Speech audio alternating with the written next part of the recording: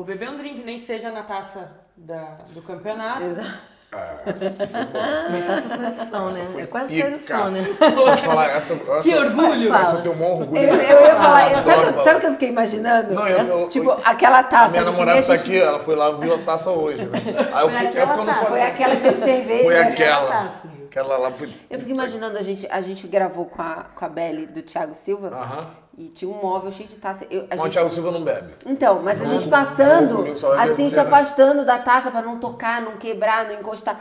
E, e o Mas povo a taça na casa e o dele? povo botando É, ele, tem, cerveja. ele fez eu tenho- de eu- tudo. eu também tenho. É, ele tem as réplicas em Eu também casa, de tenho. todas as Tem? taças. É, mas essas de casa eu não bebo, né?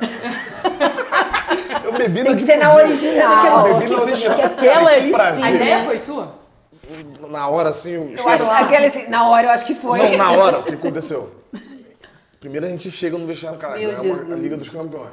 Fudeu, posso fazer tudo que quiser. Não, não, não. Eu não, sou já da tem champanhe, tem Já tem champanhe, tudo. tem tudo liberado. champanhe, não sei o que, tal, tal, tal.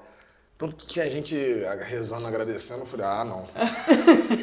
Aí tô eu e o Deco aqui, a gente vapo, vapo. Quando viu, o negócio tava cheio até a boca. Tu e quem? Eu e o Deco. aí. Deco! Sempre ele, pode falar. E muitas das coisas que eu fiz, eu agrade- agradeço a ele. Tá? Ele que me ensinou. Quando eu cheguei na Europa, Mestre ele Deco. foi meu mestre aqui. Entendi. E aí a gente encheu a taça. Pegou assim, filho, vem, que eu te Pode ensino. falar, é porque Vem, papai. até bituca de cigarro jogaram dentro.